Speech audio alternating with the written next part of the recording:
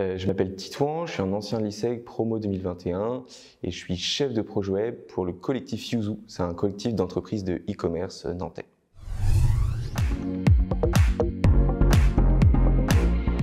J'ai été à l'ISEC pendant 5 ans, donc trois premières années assez classiques, marketing, communication.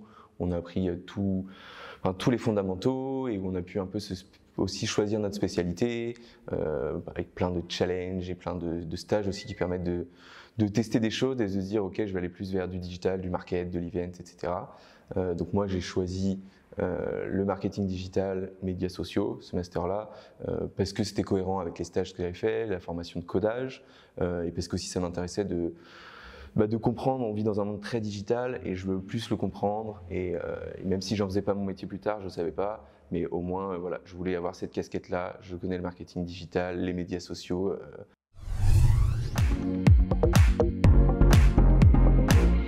Euh, l'expertise digitale, déjà, c'est plein de matières très différentes, des concepts, des techniques qui sont plein d'outils aussi qu'on voit, donc très différents. Donc ça ouvre un peu le champ des possibles de ce qui est possible en marketing digital parce qu'il y a plein plein de choses.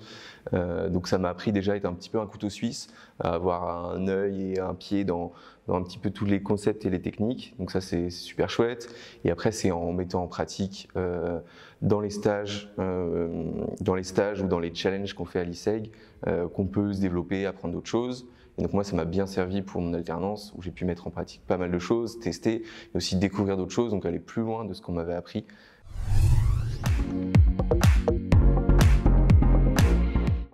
Euh, quelques cours qui sont pas mal. Il y a eu le, gros hacking, où là c'est vraiment pas mal. C'est vraiment une méthodologie complète qui diffère du marketing un peu traditionnel où on se base sur euh, des suppositions.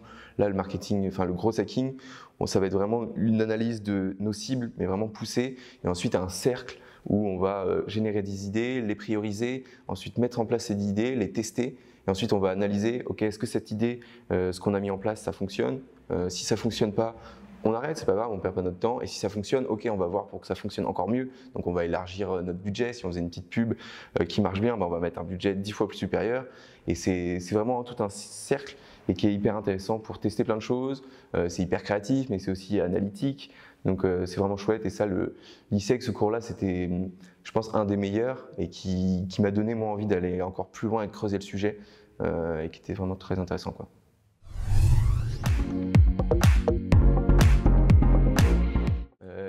conseil euh, pour ce master, peut-être pour après, c'est de tester. À l'ISEG, euh, les trois premières années, pendant les masters, on apprend plein de choses, euh, plein de concepts, plein d'outils.